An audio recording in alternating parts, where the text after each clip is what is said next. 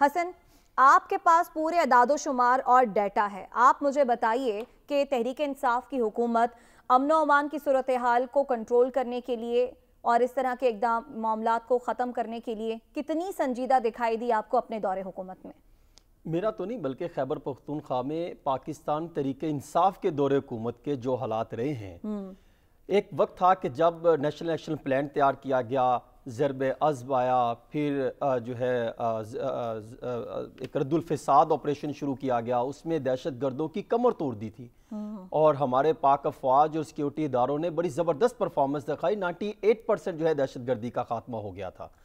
लेकिन खैबर पख्तूनख्वा की अगर सिचुएशन का जायज़ा लिया जाए और पूरे मुल्क में दहशत गर्दी है सबसे हसास जो सुबह है वो खैबर पख्तूनख्वा अगर मैं दादो शुमार और बाकी जो दहशत गर्दी के वाक़ात होते हैं उनको देखा जाए तो हम्म। एक साल में दहशत गर्दी के 700 वाक़ात हुए हैं अच्छा। खैबर पख्तूनख्वा में और 300 से जायद शहीद हुए हैं 700 से जायद अफराज ज़ख्मी हो गए हैं अंदाज़ा करें खैबर पख्तूनख्वा हुकूमत की जो गुज्त नौ दस साल हुकूमत रही है उनकी तरजीहत में क्या था?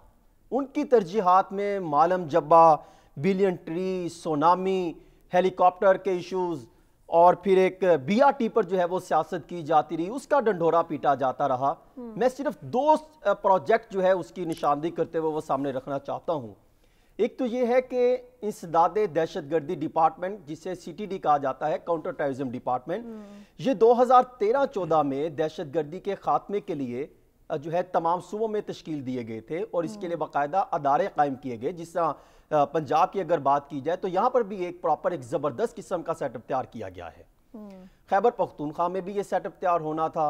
इसके लिए इंफ्रास्ट्रक्चर बनना था। ज़बरदस्त किस्म की जो है वो हायरिंग करने के बाद उनको ट्रेनिंग दी जानी थी। दहशत गर्दी का खात्मा करना था। क्या किया? आज उस वक्त से लेके आज तक कोई इंफ्रास्ट्रक्चर मौजूद नहीं है। सिर्फ़ हमारे पास अगर देखा जाए तो 2135 नफरी मौजूद है।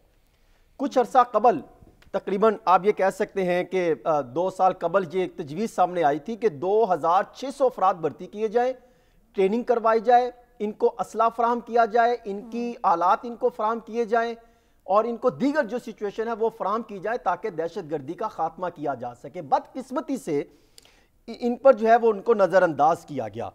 और टोटल बजट अगर देखें 2021 में दो अरब 18 करोड़ रुपए रखा गया। चार फ़ीसद जो है वो सिर्फ़ आलाद जो है वो असला खरीदने के लिए ऑपरेशन के लिए इस्तेमाल किए गए 96 परसेंट छप्पन फ़ीसद जो पैसे हैं वो तनख्वाहों के लिए इस्तेमाल किए गए। यानी हुकूमत की जो है लापरवाही, बेहिसी का ये आलम है कि काउंटर टेररिज्म डिपार्टमेंट को तरजीहत में शामिल नहीं किया, बल्कि इनके दौर में जो है वो छप्पन बार एजेंडे में ये शामिल किया गया सीटीडी को।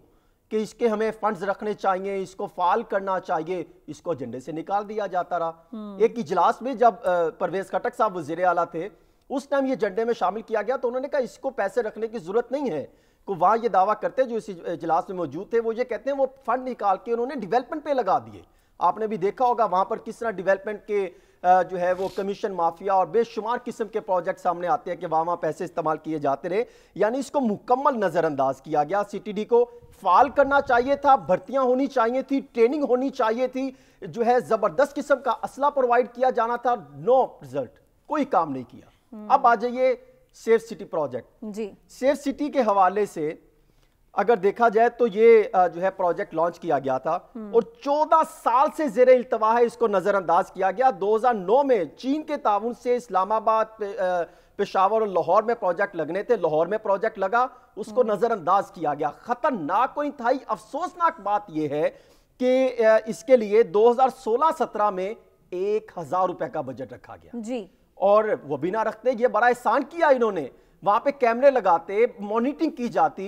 खुद आईजी पंजाब तस्लीम कर रहे हैं कि ये प्रोजेक्ट को नजरअंदाज किया गया। तो जो पैसे इनको मिलने थे वो पैसा कहाँ लगा? अवाम के तहफुज के लिए अवाम के जानों को माल को तहफुज फराम करने के लिए सेफ़ सिटी प्रोजेक्ट लगने थे जिसका डायरेक्ट उन तक जो है असरात होने थे। तहलील होने से कबल जो हुकूमत तहलील हुई उनसे तकरीबन सात दिन कबल इजलास बुला लिया जाता है। वज़ीर अला खैबर पख्तूनख्वा की तरफ़ से कि अब ये पुलिस करेगी इसको प्रोजेक्ट को आगे लेकर चला जाएगा।